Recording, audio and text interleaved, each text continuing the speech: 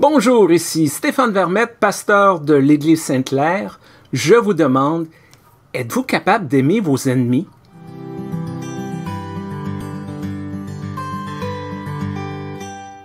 Lorsque j'étais étudiant au cégep, mon professeur de philosophie, M. Anton Kalouzny, nous a raconté l'histoire d'un Afro-Américain qui déambule les rues d'une ville des États-Unis un beau dimanche après-midi. Soudain, un suprémaciste blanc sort de nulle part et frappe notre homme en plein visage sans aucune raison. Ce dernier ne bouge pas. Alors le suprémaciste blanc le frappe une deuxième fois. À ce moment, l'homme enlève son veston tranquillement, se roule les manches et flanque une raclée au suprémaciste. Quand la nouvelle s'est répandue, les amis de l'homme ont accouru et lui ont demandé Mais qu'est-ce que tu as fait? On pensait que tu étais un bon chrétien. Mais je le suis, leur dit-il. J'ai fait exactement ce que la Bible nous enseigne. On m'a frappé sur une joue, j'ai montré la seconde, et comme Jésus ne donne aucune instruction après ce point, j'ai pu faire tout ce que je voulais.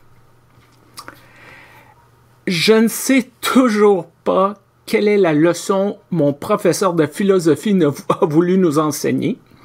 Cependant, j'ai découvert ce jour-là les dangers d'une interprétation un peu trop littérale d'un texte biblique. Après avoir annoncé que le royaume des cieux, que dans le royaume des cieux, notre monde sera profondément transformé, Jésus continue son discours dans le passage d'aujourd'hui en déclarant à tous et à toutes qui l'écoutaient, Aimez vos ennemis, faites-leur du bien, prêtez sans rien espérer recevoir en retour. Si quelqu'un te frappe sur la joue, présente-lui aussi l'autre. Si quelqu'un te tend ton manteau, laisse-le prendre aussi ta chemise. Donne à quiconque te demande quelque chose, et si quelqu'un te prend ce qui t'appartient, ne lui réclame pas.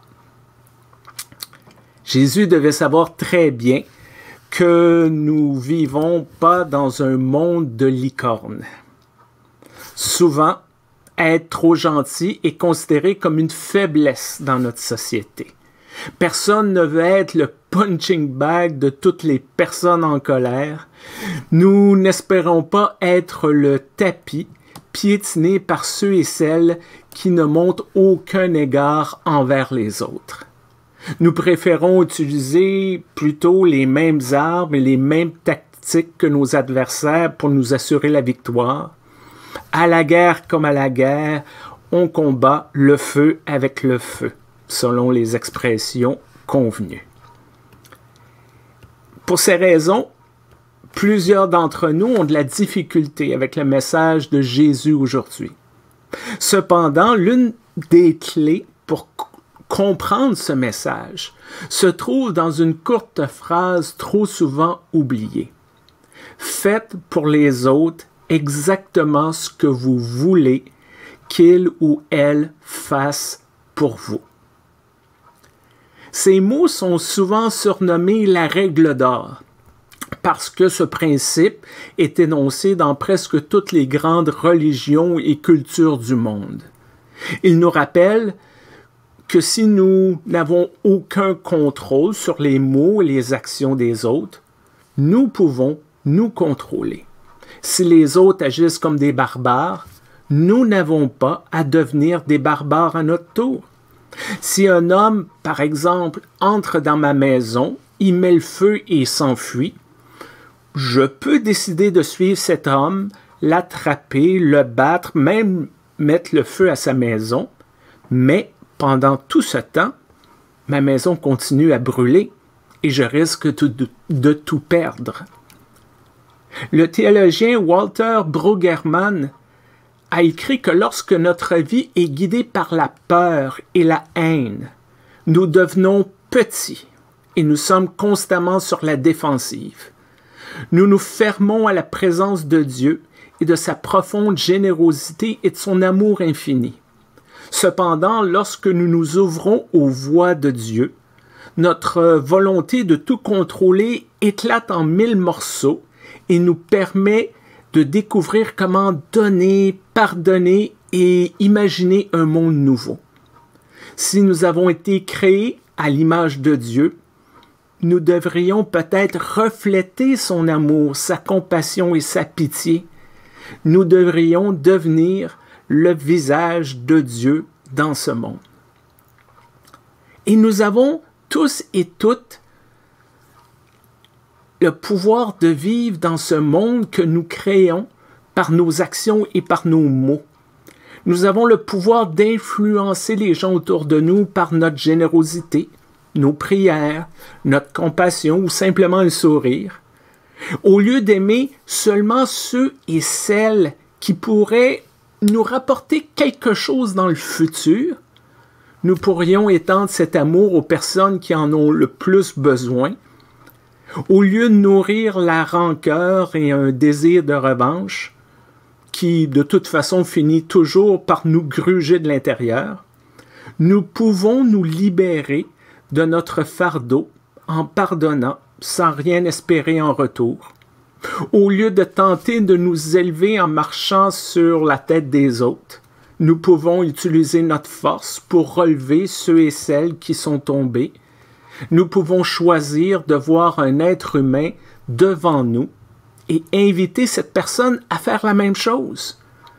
Nous pouvons vivre selon les règles basées sur l'amour, le pardon et la générosité.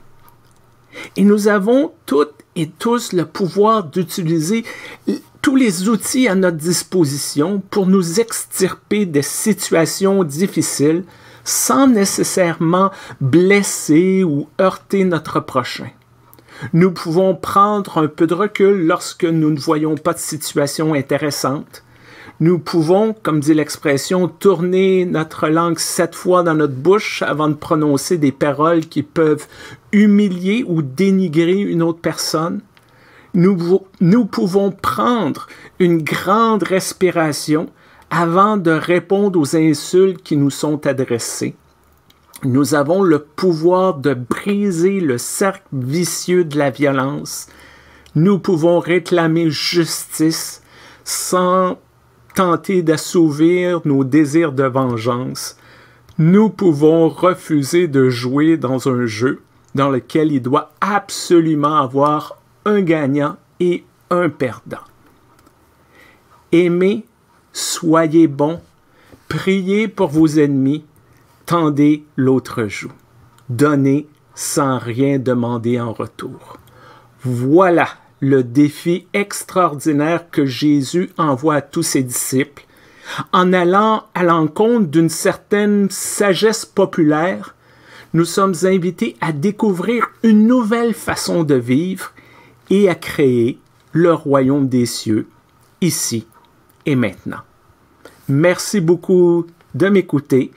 Peu importe sur quelle plateforme vous m'écoutez, N'oubliez pas d'aimer, de partager, de laisser un commentaire.